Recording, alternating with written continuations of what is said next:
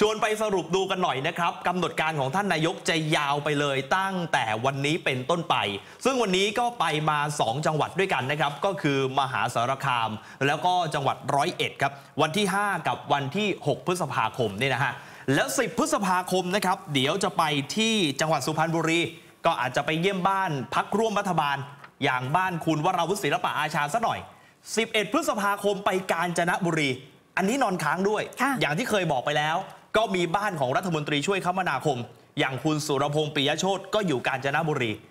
ราชบุรีนะครับ 12 พฤษภาคมก็จะนอนค้าง 13 พฤษภาคมไปเพชรบุรีนอนค้างด้วย และ 14 พฤษภาคมก็จะไปที่เพชรบุรี ซึ่งจะมีการประชุมคอรมอสัญจรนะฮะมหกรรมทัวร์นกขมิ้นคอรมอสัญจรครั้งนี้นะครับเอาเฉพาะวันนี้ก่อนนะครับ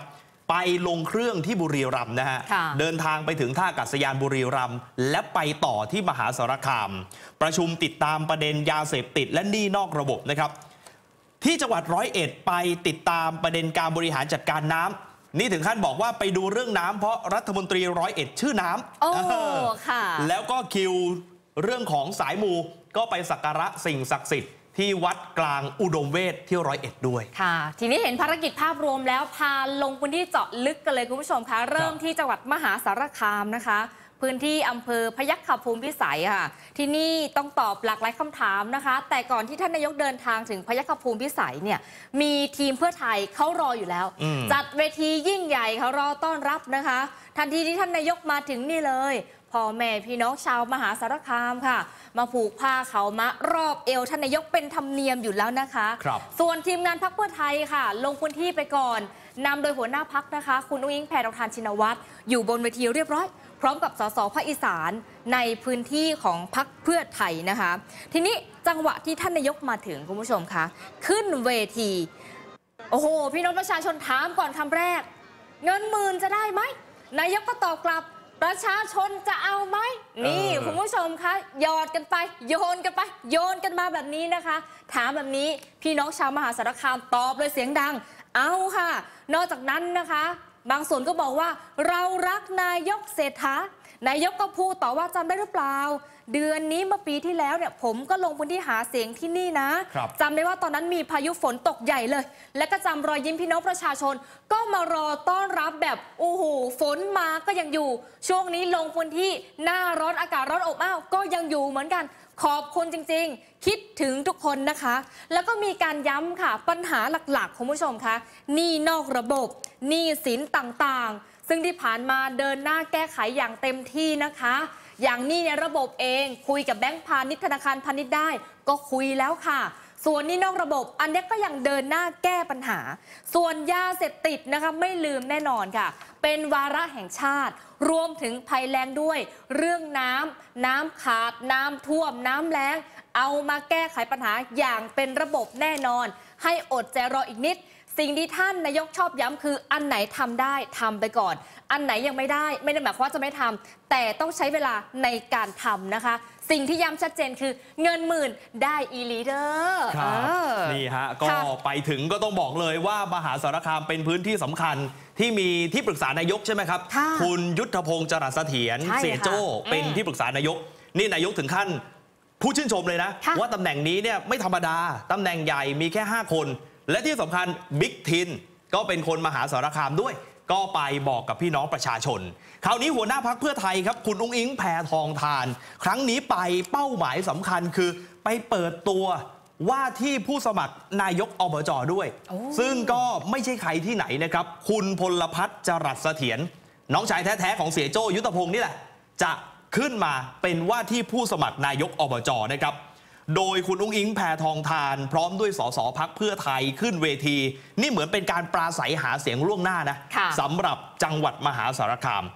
มุ่งไปที่งานส่วนท้องถิ่นครับ จะทำอย่างไรให้มหาสารคามดีขึ้น พัฒนามหาสารคามให้มีสาธารณูปโภคดีขึ้น ถ้าได้ผู้บริหารที่ไม่ดี การพัฒนามันก็ไม่ได้ประโยชน์ ในเรื่องของท้องถิ่นพี่น้องประชาชนต้องคิดให้มากๆ คุณอุ้งอิงว่าแบบนี้ โดยเฉพาะเรื่องการพัฒนา และบอกว่าตอนนี้เพื่อไทยมีมติส่งคุณพลพัฒน์จรัสเสถียรหรือไอ้เปิ้ล น้องชายแท้ๆของคุณยุทธพงศ์ขึ้นมาเป็นว่าที่ผู้สมัครนายกอบจนะครับ จึงฝากตัวคุณพลพัฒน์ว่าเป็นคนที่เหมาะสมที่จะเป็นตัวแทนให้กับพี่น้องประชาชนได้ ขอฝากคุณพลพัฒน์เอาไว้ในอ้อมอกอ้อมใจ เพื่อจะได้มาพัฒนาบ้านเมืองให้ดีกว่านี้ แล้วความคิดเห็นต่างๆ ประชาชนเนี่ย อยากฝากถึงนายกจะได้ฝากผ่านคุณพลพัฒน์มาได้เลย เพราะเป็นตัวแทนพี่น้องประชาชนด้วย และเงินที่จะเอาไปลงทุนนี่ค่ะฮะพูดถึงเรื่องนี้แล้ว เพราะจริง ๆ ตอนทำดิจิทัลวอลเล็ตเนี่ยฝ่ายค้านเขาก็พูดเยอะทำไมไม่เอาเงิน 5 0 0แสนล้านไปให้สวัสดิการผู้สูงอายุ นั่นนะสิคะ นี่รอบนี้คุณอุ้งอิงพูดแล้ว อยากให้ไปลงทุนหรือสนับสนุนเรื่องสวัสดิการเบี้ยผู้สูงอายุด้วย ซึ่งทำให้ผู้สูงอายุมีเงินช่วยเหลือ แบ่งเบาภาระลูกหลาน แล้วก็พัฒนาเรื่องปัจจัยโครงสร้างพื้นฐานนะฮะ อันนี้ภาพบรรยากาศโดยรวมนะคะ ในพื้นที่ครับจังหวัดมหาสารคามคุณผู้ชมคะทีนี้ต่อเนื่องค่ะ ไปที่จังหวัดร้อยเอ็ดกันต่อนะคะคุณผู้ชมคะเพราะว่าคุณนุ้งอิงเองก็นำทีมค่ะ ไปพร้อมกับท่านนายกเศรษฐาทวีสิน ขึ้นเวทีประกาศก่อนใครค่ะครับลงพื้นที่สสน้ำนะคะ จิราพรสินทุกภัยคุณผู้ชมคะโอ้โห บรรยากาศพี่น้องประชาชนมารอต้อนรับคึกคักกันทีเดียวค่ะ สิ่งที่คุณอุ้งอิง ย้ำคือ สวัสดีพ่อแม่พี่น้องชาวร้อยเอ็ดนะคะ โดยเฉพาะพื้นที่อำเภอพระนมไพรค่ะ การลงพื้นที่ครั้งนี้เนี่ยต้องยอมรับว่าพี่น้องชาวร้อยเอ็ดให้การต้อนรับพักเพื่อไทยเป็นอย่างดีค่ะ เข้าใจว่ามีหลายเรื่องที่พี่น้องเป็นปัญหาปวดหัวอยู่นะคะ ใช่ว่าพักเพื่อไทยจะนิ่งนอนใจ เรื่องเงินหมื่นย้ำอีกครั้งได้แน่นอน เศรษฐกิจต้องดีขึ้น เรื่องยาเสพติดก็ปรับให้เรียบค่ะ อดใจอีกสักนิด ยืนยันว่า ตั้งใจมาบอกชาวพนมไพรตอนนี้มีรัฐมนตรีเป็นของตัวเองแล้วนะคะ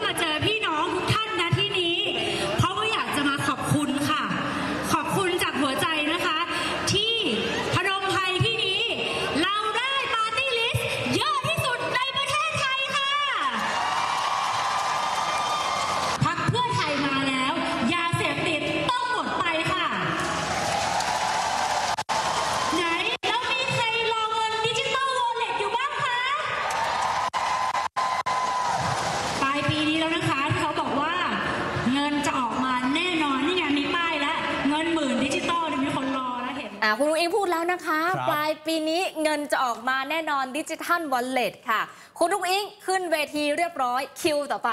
นายกเศรษฐาทวีสินนะคะ คุณผู้ชมคะที่จริงตอนนายกลงพื้นที่เองหลังจากเดินทางไปสักการะสิ่งศักดิ์สิทธิ์คู่เมืองของชาวพนมไพรแล้ว ก็ขึ้นเวที อันดับแรกที่พูดเลยขอบคุณพี่น้องชาวร้อยเอ็ดค่ะที่มีส่วนผลักดันให้พักเพื่อไทยได้เป็นรัฐบาล และก็มีความยินดีมาก ๆ ที่ได้กลับมาเยือนร้อยเอ็ดอีกครั้ง ครั้งนี้เป็นครั้งทีสี่ 4 แล้วนะคะ ยืนยันว่าประชาชนที่รอเงินดิจิทัลวอลเล็ตสิ้นปีมีเงินใช้แน่นอน นอกจากนี้ยังแสดงความยินดีกับชาวร้อยเอ็ดที่มีรัฐมนตรีหญิงคนแรกด้วยนะคะ ก็คือคุณน้ำจิราพรนี่แหละ นายกบอกต่อว่า วันนี้ไม่ได้ลงพื้นที่มาแค่โชว์ตัวรัฐมนตรี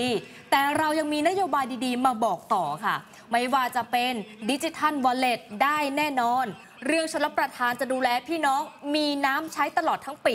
ถือเป็นประเด็นสำคัญกับการเกษตร ชาวร้อยเอ็ดมีรัฐมนตรีชื่อน้ำเรื่องน้ำรับรองไม่มีปัญหาค่ะ วันนี้ไม่ใช่มาแค่โชว์ตัวรัฐมนตรีนะครับ เรามีนโยบายดีๆ ไม่ว่าจะเป็นมายืนยันกับพี่น้องว่าดิจิตอลวอลเล็ตสิ้นปีนี้พี่น้องจะได้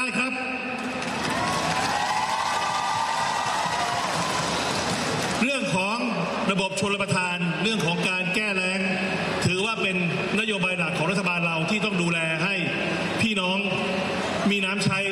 อย่างสมบูรณ์นะครับ เรื่องน้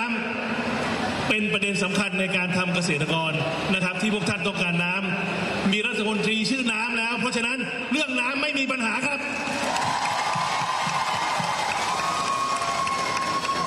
แล้วก็เป็นที่น่ายินดีนะครับว่าในเขตนี้มีข้าว นะครับ ซึ่งเป็นข้าวหอมมะลิที่มีชื่อเสียงไปทั่วโลก มีคนนิยมชมชอบมาก ก็ได้มีการพูดคุยกับกระทรวงเกษตร ให้สนับสนุนให้มีการพัฒนาสายพันธุ์นี้ให้ดียิ่งขึ้นไปอีก และทำให้ราคาข้าวสูงขึ้นไปครับ มีรัฐมนตรีชื่อน้ค่ะำเรื่องน้ำไม่มีปัญหาค่ะแต่ดูเหมือนว่ารัฐมนตรีชื่อน้ำนี่ ดูประจำสำนักนายกนะ ดูเรื่องของกรมประชาสัมพันธ์อ่าช่อง 9 การสื่อสารล้วนใช่ค่ะ แต่เออไม่เป็นไรค่ะ อย่างน้อยก็เป็นปากเป็นเสียงครับเวลามีอะไรเรื่องจะตรงถึงท่านนายกรู้เรื่องก่อนแน่นอนๆแต่เรื่องที่น่าสนใจก็คือนี่เหมือนเป็นการแกรนโอเพนนิ่งรัฐมนตรีใหญ่อย่างคุณจิราพรเลยนะค่ะแล้วเราก็ตั้งคำถามว่าก่อนหน้านี้จริง ๆ รัฐมนตรีอีสานก็หลายคนอืมคุณสุทินใช่คุณค่ะไชยา ค่ะคุณหมอชลน่านอยู่เหนืออ่าแต่ไม่เห็นมีงาน grand opening นะ ที่ผ่านมาก่อนอันนี้มันมันวุ่นวุ่นๆหน่อยใช่ก่อน การจัดตั้งรัฐบาลไงครับ ตอนนี้มันเริ่มลงตัวแล้วอะไรอ่าก็ดูเป็นเรื่องที่น่ายินดีไปหมดค่ะ นอกเหนือจากนั้นนะครับประเด็นที่นายกฝากกันเอาไว้ก็ 2 เรื่องนะครับ เกี่ยวข้องกับภัยแล้ง รวมถึงการพัฒนาพืชผลทางการเกษตร ข้าวหอมมะลิที่ทุ่งกุลาร้องไห้ รอบนี้เกษตรกรหลายคนบอกร้องไห้อีกแล้ว ค่ะ เพราะว่าภัยแล้งมันเกิดขึ้นเนี่ยนะครับ นายกก็ฝากไว้ให้กระทรวงเกษตรและสหกรณ์พัฒนาสายพันธุ์ให้ดี โดยเฉพาะข้าวหอมมะลิทุ่งกุลาร้องไห้ ทำให้ข้าวมีราคาสูง และจะได้ขอให้กรมชลประทานพัฒนาเรื่องแหล่งน้ำด้วย ยังพูดถึงประเด็นค่าจ้างอสมนะฮะที่มีเงินตกเบิกอยู่ 8,000 บาทแต่ละคนเนี่ยนะครับ ก็ให้กำลังใจในการดูแลพี่น้องประชาชน และนายกก็ย้ำว่าเดี๋ยวจะไปตามเรื่องนี้ให้ ขณะเดียวกันการติดตามบริหารจัดการน้ำนะครับ นายกก็บอกว่าวันนี้มาดูหลายเรื่องสั่งการให้โครงการต่างๆ พิจารณาความเหมาะสมของโครงการ ความเร่งด่วนในการพัฒนาระบบในจังหวัดร้อยเอ็ดพิจารณาถึงผลกระทบของประชาชน ด้วยการวางแผนระยะยาว ให้ประชาชนมีน้ำในการอุปโภคบริโภค และยังต้องดูถึงเรื่องที่กรมชลประทานนำเสนอมา ในการของบประมาณนะฮะพัฒนาแหล่งน้ำใต้ดิน หรือน้ำบาดาลด้วยฟังเสียงท่านนายกครับเพราะวันนี้ก็มาดูแลเรื่องของน้ำนะครับ ก็ขอสั่งการให้